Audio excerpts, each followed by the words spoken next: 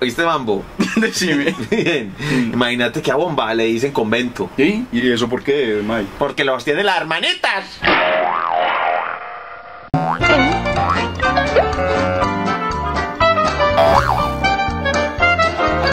Los de Yolombó